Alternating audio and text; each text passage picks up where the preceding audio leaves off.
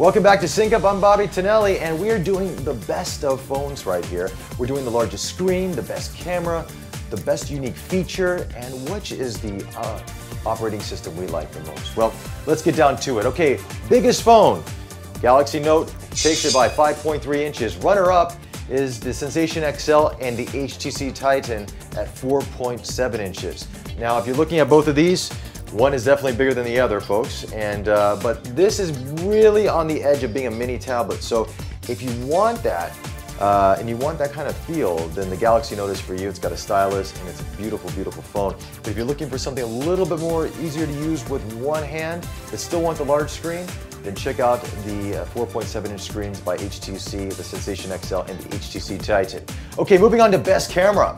Uh, we have the HTC Titan 2, which was recently announced with 16 megapixels. 16 megapixels. I mean, the, the Leica we just reviewed has 12. Insane, right, for a smartphone? Next, we have the Nokia N8, which has 12 megapixels, which a lot of people say is one of the best camera phones in the market still to this day. And the iPhone 4S, which is coming in at 8 megapixels, which is really the industry standard. Which is the best camera? We have not seen images from the, the HTC Titan 2 as of yet, the final version, so it's hard to say. But uh, 16 megapixels should be quite an amazing feat if the phone can pull it off. Uh, the Nokia N8, tried and proven, fantastic. And the iPhone 4S, as we know, iPhones, all the, most of the images are really, really good. Let's moving on to battery life. Now, some of the best battery life in handheld phone, uh, once again, goes to Samsung Galaxy Note here uh, at a 2500 milliamp battery. It gives you about 26 hours of talk time, but it is running Android. Multitasking can be an issue, as we all know. So, you know, you gotta kind of keep those uh, variables in check. Also, after that is the Samsung Galaxy 2, which gives you about 18 hours of talk time. Once again, if everything's in check and all your applications are kind of just you know, really just running at minimal. And the last is the Nokia E6, which is at 14 hours, and this is the same as the iPhone 4S. But once again, when you get into multitasking, it all, it all changes. Now, the best unique feature, when you go to unique features, a lot of the phones have the same things nowadays. The iPhone 4S has Siri, which we all know is really a big advancement in voice command and voice communication. And the next thing, uh, I, I, mean, the next thing closest is really what Google has with their uh, voice to text and so forth, but not quite to Siri's level. Moving on to Siri, uh, Sony Xperia, the PlayStation phones. They're all PlayStation certified. That means when the Android market has the PlayStation games in it. It's going to work beautifully with the Sony Xperia series. And HTC really has something unique about them that uh, a lot of audiophiles like is the Beats by uh, Beats by Dre. Beats Audio is built in most of their Android phones now, especially with the Sensation XL here. And you see the uh, Beats logo in the back.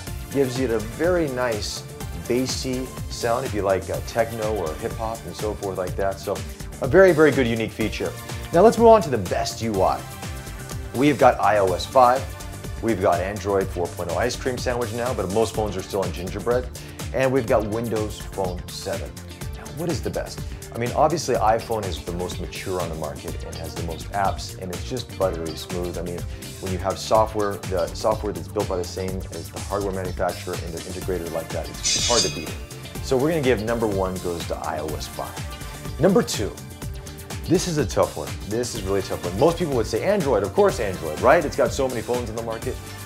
I don't think. And I know some people are gonna get a little upset on me on this, but I think that the one operating system, the UI that's really coming up is Windows Phone 7. I think it's very, very smooth, as smooth as iPhone.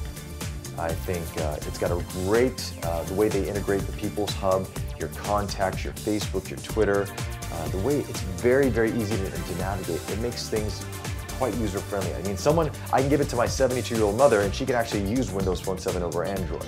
So that's kind of my gauge comparison, but at the same time, it just shows you how simple and easy it is. Now, Android is very interesting. Android, I like Android, especially Ice Cream Sandwich, but I do feel it's more for the techie people.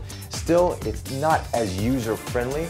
It's got a lot of great functions to it. The, the multitasking is some of the best I've seen around and you know the way that you can, it can integrate with Google Maps and navigation and Google Voice and all the Google products, it's just really, really good in that aspect. But I think in terms of user as being user friendly, it's not quite there yet. HTC has done a tremendous job with Sense, which makes it a lot easier. Sam, uh, Samsung has done it with their TouchWiz and Sony with their variation as well. But I still think for the uh, a person that's very new to smartphones, it's going to be a bit of a learning curve for them. So I am at this point going to say, and this is a, this is a gamble here.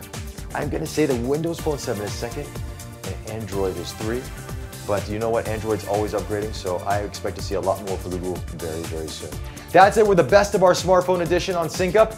Until next time, take care, folks.